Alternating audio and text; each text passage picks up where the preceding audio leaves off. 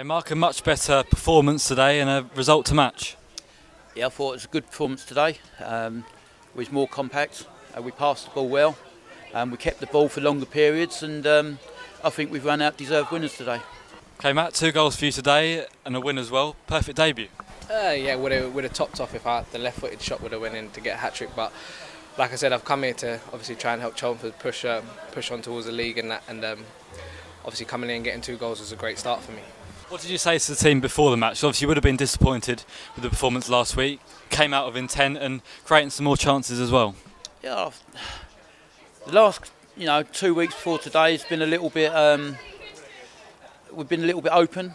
Um, I think we lost at home to Oxford on the back of a very hard week, um, but last week we let ourselves down.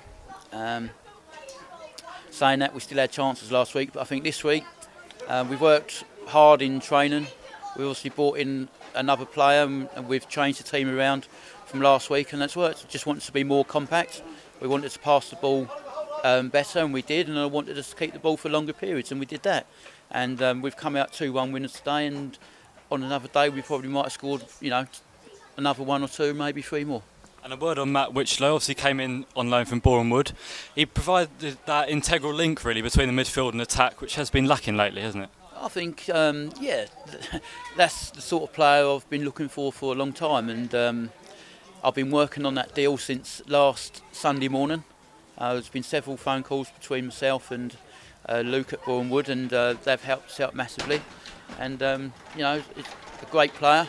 He's used to winning, used to keeping the ball, and obviously had that winning mentality from Boreham Wood from the, their promotion last season. So he's, he's ideal, and he scored two goals on his debut. So it don't come much better than that for him. What are your first impressions of your new teammates from this afternoon? Uh, a great bunch of lads and hard-working bunch of boys. So obviously, if we can keep that hard work up and be clinical in our box and eradicate mistakes in our, in, in the fin- in our defensive third, then we'll do all right.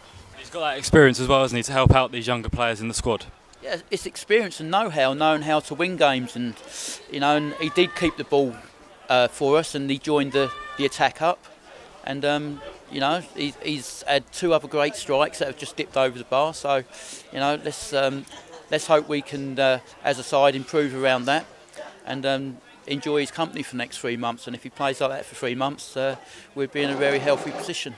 And even though Basingstoke haven't lost a, uh, haven't won a game yet this this season in the league, you know they've still posed a, threat, didn't they? Yes, most definitely. They've got they've got big um, big lads in there, so for the aerial balls and stuff like that, um, they'll cause teams problems, and uh, it's only a matter of time uh, before they get a win. And obviously, thank, thankfully, it wasn't against us today.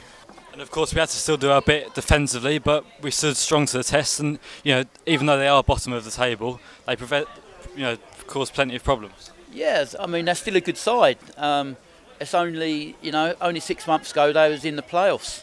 Um, and it's the same team, it's the same squad. Um, so we've done well to come and win here. Um, you know, we've, we've got to keep going now. We've got to get on another run ourselves now. You know, we went on a run earlier of seven games unbeaten. Um, the cup games are put to bed for a little while, and we've got to run a league game. So, can we um, get back on on a winning trail and and go unbeaten for five or six games? And if we do that, um, we'll be in a healthy position in the league.